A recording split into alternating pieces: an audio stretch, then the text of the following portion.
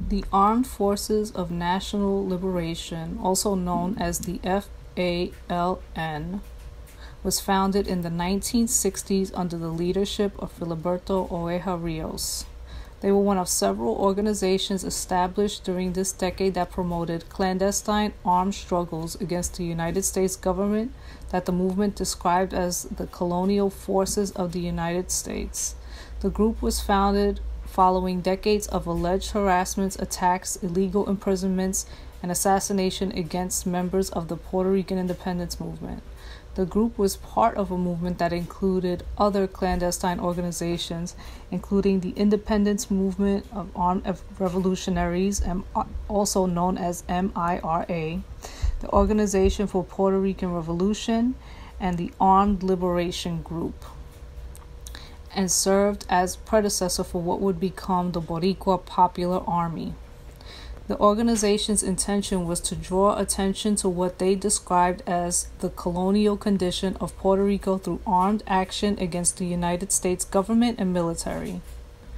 The modus operandi of FALN was to perform bombing and incendiary actions and then admit responsibility through press releases.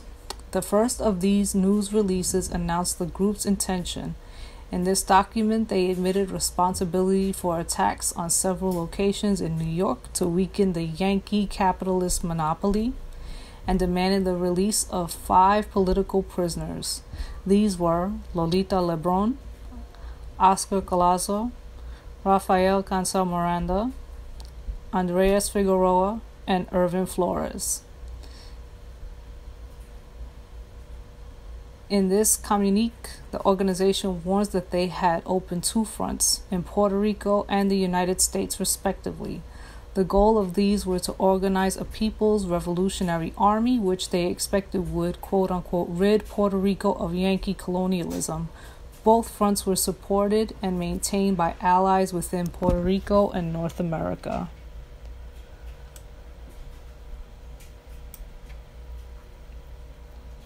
On August 11, 1999, U.S. President Bill Clinton offered conditional clemency to 16 members of the FALN convicted for conspiracy to commit robbery, conspiracy to bomb making, and sedition, as well as, far, as for firearms and explosives violations. None of these 16 were convicted of bombings or any crime which injured another person, and all the 16 had served 19 years or longer in prison, which was a longer sentence than such crimes typically received, according to the White House.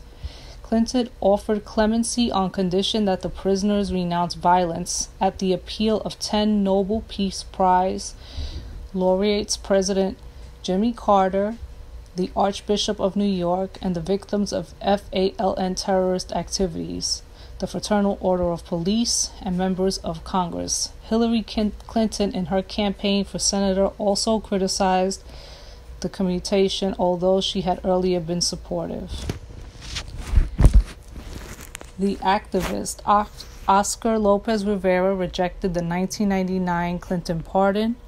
U.S. President Barack Obama later commuted his sentence and Lopez Rivera was released in May 2017. After 36 years in prison, he had been incarcerated longer than any other member of the FALN.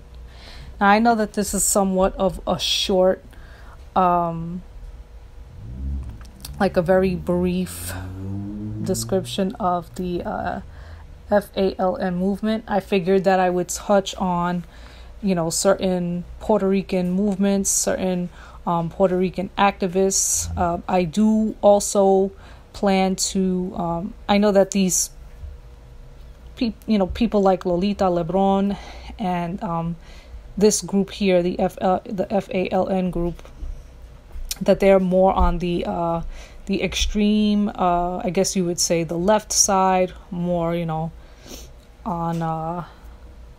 I guess you would say the the communist side, more on the um, you know, Puerto Rico being on its own, being independent side.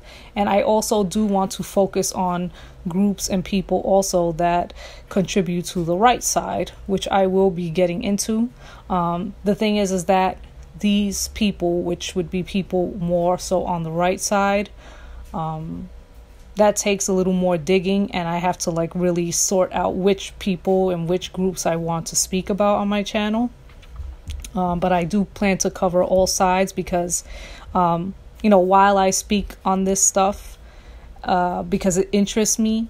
Um, on the other hand, especially when it comes to Puerto Rico and um, and independence or uh, versus becoming um, a state, I have